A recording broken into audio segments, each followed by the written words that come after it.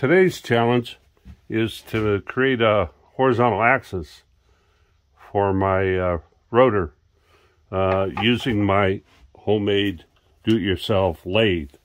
Now on the lathe I made a modification here. I added a, a speed control so I can control the speed a little bit of the drill. Now with that being said, on to uh, creating the axis.